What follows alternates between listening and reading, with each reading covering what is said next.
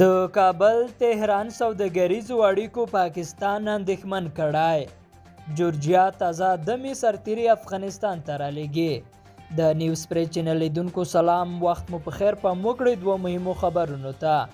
وروسته تر هغه چې ایران په لومړي ځل د ریل پټلۍ له لارې افغانستان ته په سیمنټو بار لومړنۍ جوپه راولېږله پاکستان د ایران او افغانستان ترمنځ په وروستیو سوداګریزو اړیکو اندېښمن ښکاري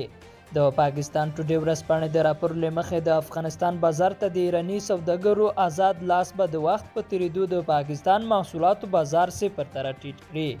راپور کاږي د پاکستاني حکومت ناسم تجارتي مدیریت د دې باعث شوی دی چې ایران له دې خلا ګټه پورته او د افغانستان بازار ته آزاد لاسرسی ولري راپور کې راغلي که څوم پاکستاني چارواکو په وار وار د سوداګریزو اړیکو پیاوړتیا لپاره افغانستان ته سفرونه کړي دي خو د پولو او په ټوله کې د ناسم تجارتي مدیریت له امله یې افغانستان ته د صادراتو کچه ورځ تر بلې د ټیټېدو په حال کې ده د ټرینټ نیوز ایجنسي د راپور له مخې جورجیا یو شمېر تضادمې سرتېري له ترهګرۍ سره د مبارزې او افغان ځواکونو ته د سلا مشورې لپاره افغانستان ته رالیږي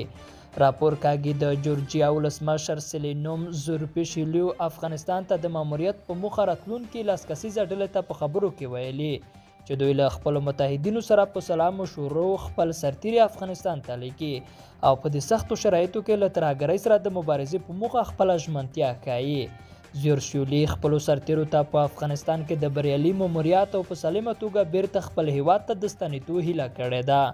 دا سرتیری وروسته تر هغه افغانستان ته راستول کیږي چې فنلنډ او بلجیم بیا له افغانستان څخه د خپلو ځواکونو ایستلو خبره کړې ده لیدونکو له ملتیا مننه ښې چارې